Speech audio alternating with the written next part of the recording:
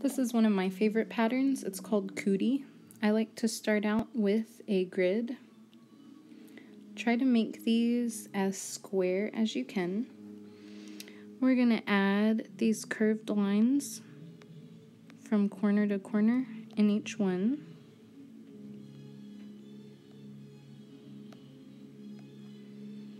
Do two or three, definitely at least two.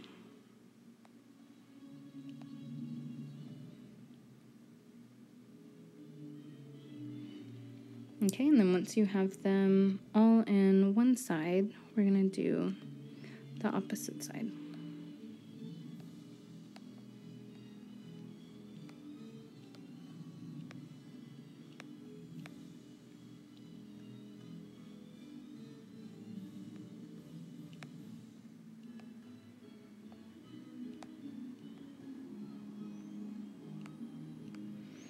Okay, and once you have all those, we're going to add these other lines in the corners, as you can see up here.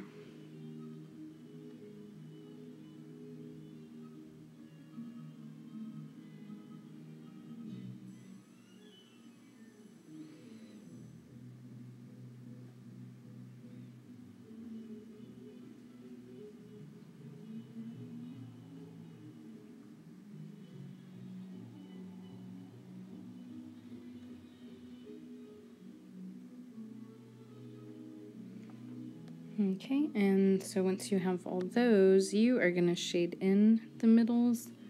I get to use my little bucket filler tool, and that's what I end up with. Hopefully you got something the same, and again, yours should be neater.